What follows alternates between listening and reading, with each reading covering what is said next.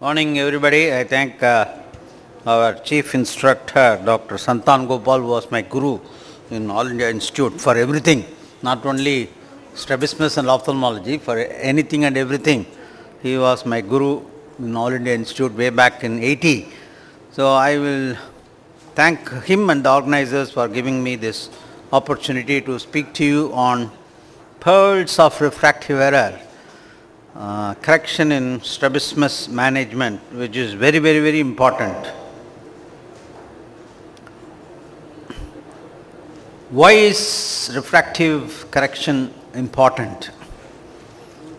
because I think uh, the glasses provides very sharp image on the retina, then it uh, stimulates fusion, thereby help in stereopsis, the patient to have stereopsis and uh, the glasses balance between accommodation and uh, convergence and uh, also to give constant binocular fusion and to give normal stereo acuity which is 1 in 20 seconds. Always measure, treat, analyze any strabismus with regards to best corrected visual acuity. I always prefer, uh, I think, uh, doing refraction myself. Like that, I would uh, also request you to do the same. And uh, you can counter check an optometrist or an ophthalmic assistant doing the same or a junior resident. If they see that earlier, you will have to counter check because you are ultimately responsible for their glasses. So it is always better to measure and then give your prescription and uh, interrelated with uh, strabismus and the best visual acuity. Here again I would like to stress that uh, checking the visual acuity once again if the optometrist in especially in amblyopes if they are checked in uh, another room it's better that uh, you counter check once again as much as possible, especially when you have a doubt. I will just, I thought I will just project few slides. And uh, the first slide, anybody from the audience? The simplest of all. I think it's an Just diagnose whatever you think, you say no problem. Give some mic there also please in the audience. accommodative esotropia. The patient is squinting in the right eye and uh, I think uh, uh, cycloplegic refraction was done and uh, there was uh, I think orthophoria and with the glasses and central fixation and it was on the foveal. And both eyes were having the central fixation and the refraction actually though it was plus 7, plus 5 was given. And uh, there was initially you see that uh, around uh, 45 prisms, around 20 to 25 degrees uh, for both distance and near, the angle was the same and uh, retina was normal in both eyes. And uh, once we have given the glasses, I think it became orthophoria so my this thing here will be that uh, if the right eye is squinting more, what will be your interpretation? Is the glasses given is right? If the right eye is squinting more often than the left eye, is the glasses equal glasses, is it right? Yeah, because right eye is squinting more often than the left eye, I think uh, uh, it is uh, usually, I think uh, the right eye will have more hyperopia than the left eye and the right, right eye will have associated amblyopia more than the left eye. And if both eyes are amblyopic, the right eye will be more amblyopic than the left eye. But this case it was alternating freely. 50 percent of the time it was uh, squinting, 50 percent of the time it was straight. And uh, it was an intermittent squint and uh, right eye and left eye was freely alternating. And once we gave the glasses, it was totally orthophoric with good uh, stereo with the glasses. So I think ultimately what we should achieve in accommodative esotropia is to give full plus prescription in all types. And uh, sometimes I think uh, if the patient or the child is not able to accept, we can give a little weaker cycloplegics, uh, preferably a homemade or cyclopentolate, just to start with as the, once the child uh, accepts the glasses. So we prioritize vision over esotropia. If vision improves with uh, less plus than prescribed the same because there were instances uh, cycloplegic flash value will be plus 7 but I think uh, the acceptance may be even plus 4 and then uh, they become straight. So we stop with plus 4. So keep adding the glasses till you leave them with a minimal esophoria because these children tend to get exo and uh, they will have to review it every 4 months or 6 months and uh, keep adjusting the glasses.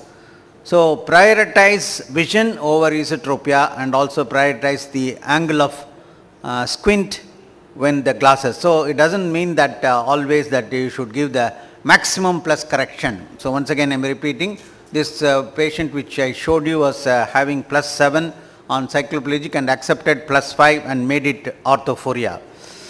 And uh, if you overcorrect what happens? The child will start peeking over the glasses like this instead of seeing through the glasses because child becomes myopic and once it becomes myopic the vision is not clear.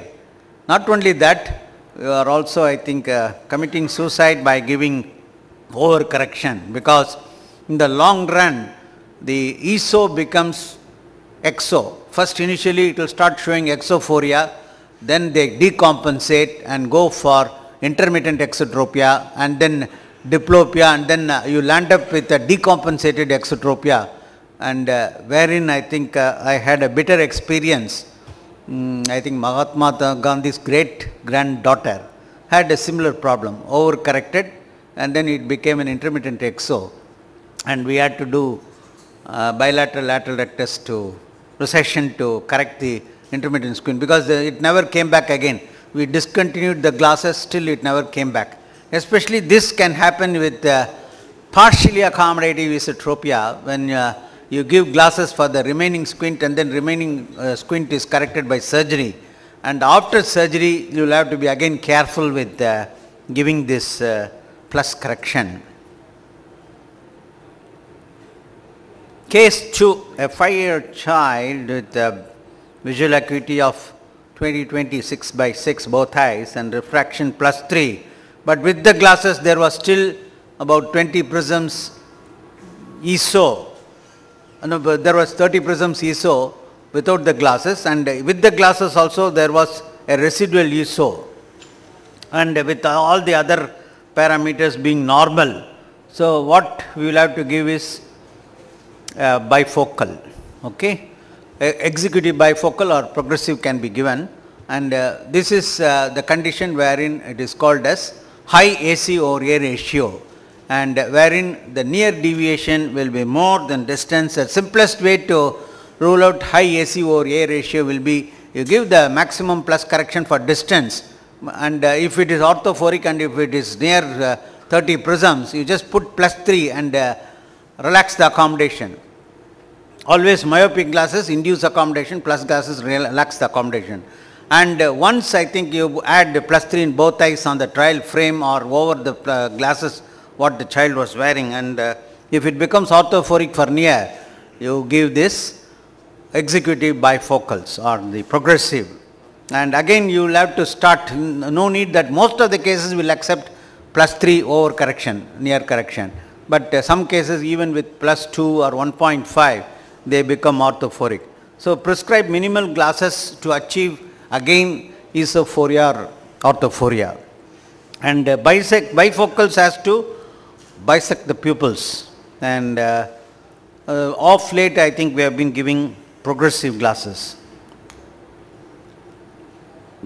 Off late I think even executive bifocal uh, blanks are not available. I don't know whether Santanu Gopal has the same uh, experience. changed to progressive. Progressive. It's so, expensive, but I've changed to progressive. but uh, executive bifocals, blanks are not available that many. People have stopped using uh, um, bifocals, executive bifocals, even the adults. So the blanks are not available. They are progressive. So they have gone for progressive glasses. Taper plus step by step as exo deviation starts with the glasses. This is for uh, high AC over ratio and the, I think for the near you can just uh, start tapering and then once it becomes ortho or minimally so you can prescribe those glasses. So uh, sometimes I think we even change the glasses after a month and depending on the case. So explain to the parents that is very important counseling the parents. Case 3 is a 3 year girl with uh, intermittent exotropia. I think in this country the maximum strabismus what we see is intermittent exotropia and uh, I have seen the most of the Asia Pacific countries I think this intermittent exotropias are more common compared to the western population where ESOs are more common especially accommodative esotropias are more in the western population especially the whites and uh, this three-year girl, girl had an intermittent exotropia with poor control and simply uh, just a prescription, not even a myopic prescription, prescription of the cylindrical glasses uh, made the girl orthophoric, almost 15 to 20. And normally I just uh, prefer to operate if it crosses 20 prisms of exo uh, for distance. And uh, this child also had the fundus being normal. The pulse in this case will be that prescribed glasses to improve image quality, to improve the control and uh, reduces the episodes of manifest exotropia wherein the child not only loses binocular vision and if one eye is squinting more that eye tends to become lazy then I think it becomes a very big project for you. So over minus to stimulate accommodation there here I think like uh, plus here you can over minus my over add over minus to stimulate accommodation thus to stimulate convergence and spectacle prescription and also prisms can prevent or reverse early sensory anomalies like uh, preventing the child from developing amblyopia and preventing the child from losing the stereopsis. All patients on minus lenses should be re-evaluated to rule development of ESO deviations. Like as I told the other uh, story in the ESO deviation, EXO also can lead to an ESO and initially it will be esophoric and then uh, land up with a permanent uh, esotropia and uh, you may have to put the knife on these children. So I will also briefly touch upon frames and alignment though as a pediatric ophthalmologist, you should be aware. I think minimum information I will give because this is all done by the dispensing opticians. So if you have given bifocal, see them to ensure proper positioning, bisecting the pupil if it is a executive bifocal for high AC or A ratio. And also just uh, check uh, because sometimes uh, children have very big frames or very small frames and you should balance and uh, choose frame with uh, quality spring temple. And uh, nowadays I think even rubber frames are available. Sports protection whenever it is applicable. And preferably for children you should choose a sturdy frame because I many times if they can afford I ask them to buy two glasses. Because I think once uh, it breaks the child has to take the parent has to give the child the second frame and then order for one more like contact lenses what we do, we give them two pairs. And uh, deeply grooved uh, frame fronts and uh, the bridge that gives support in the area of the lower portion of the nose pad. Nose pad should not be very firm to the nose because it causes little mark on the nose. So nose, nose pad has to be very smooth and should balance. And uh, lens materials I think people may ask. So basically, uh, I have given. Glass lens actually, those days when the glasses were given, they were uh, having a scratch proof and uh, it was uh, actually long run and uh, they could use even for years when the glasses were uh, prescribed those days. And so there, there was an increased impact resistance and though the refractive index was 1. 523 average with a maximum of 1.9. uh, main disadvantage is it was heavy, especially if you prescribe plus 10 or minus 10. I think uh, they are very heavy and uh, the limited availability of the glasses with the present scenario, I think we are forced to go for uh, plastic and uh, polycarbonate lenses. The plastic lenses, the famous ones are CR39 and uh, which is less weight. I think heavy weight has come. Uh, we welcome Dr. Pradeep Sharma. so, he is the pearl actually. The pearl. Vairamuttu. Muttu means pearl in Tamil. Vairamuttu means diamond with pearl. So that is Pradeep Sharma. He was also my guru. Guru in All India Institute. Come, upper. Bade bade aadmi Pradeep. Come, come so the plastic lens cr39 it is uh, less heavy and uh, good uh, impact resistant. And uh, it does not fog that easily. You would have seen that uh, in an air conditioned room. Most of the plastic lenses most of the uh, present day lenses they advertise so much but they used to fog. But in cr39 it is there will be fogging but little less fogging. And the refractive index is a little less than the glasses 1.49 and maximum is 1.74 and disadvantage is scratches. Within a week you will find that most of the children they will have a lot of scratches. I used to tell them the the glasses developed cataract. That's what i tell them because when you see you you will not be able to see even 6 by 60 with that glasses. The child will have only 6 by 60 when the scratches are plenty. And uh, the last one, polycarbonate.